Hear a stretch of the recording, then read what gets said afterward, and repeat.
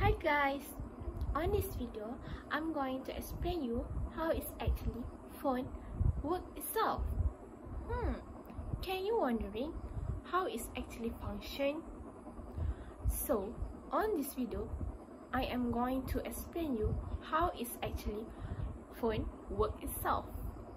So, without further ado, let's move on into the video. What is mobile phone? Mobile phone is a portable telephone that can make and receive calls over a radio frequency link while the user is moving within a telephone service area. As you can see in this figure, this is an electromagnetic spectrum line. We can categorize into two groups, which is the first one is non-ionizing radiation and the second one is ionizing radiation.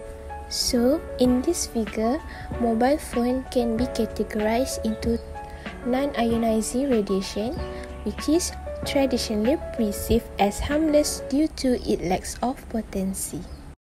Cell phones use antenna to transmit and receive radio waves that carry binary information.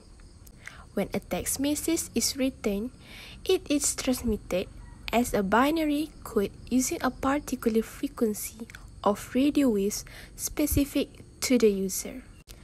Every cell tower presides over an area land where it receives and transmits radio waves. An antenna inside the phone receives signal and transmit them in form of electromagnetic waves.